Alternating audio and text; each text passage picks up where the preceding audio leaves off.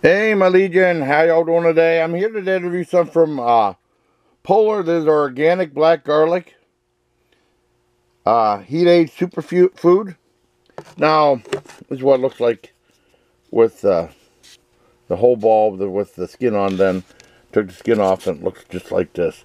Now, I remember uh, way back when there used to be a channel called Intro TV. And people, some people didn't know what the hell it was, and some people didn't bother even watch it, but I did.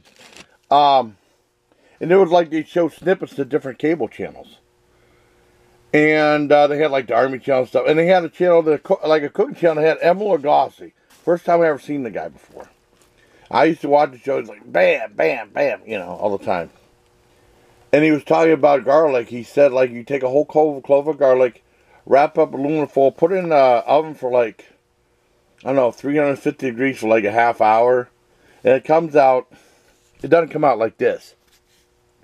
It was like yellowish, and it was like really like oily and, uh, I don't know, it's like very soft.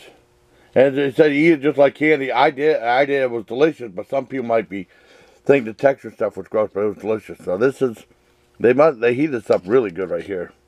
Try this out. Black garlic. Mmm. So good.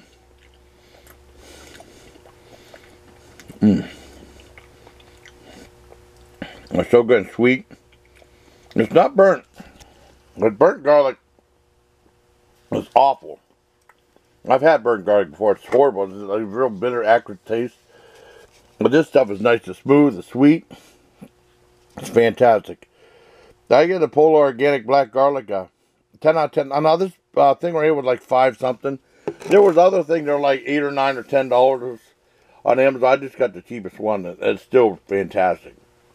So that's uh, me trying black uh, organic black garlic. I had the powder before. John had the powder. But I had whole balls before. I didn't know they sold it.